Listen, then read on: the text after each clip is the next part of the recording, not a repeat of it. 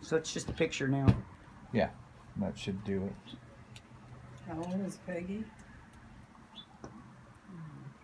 Was she the one that came down here and went to the? Yeah, we gave her that old Ford van, Astro van, that was all hollowed out because it was for repairs, you know, window Mm. repair.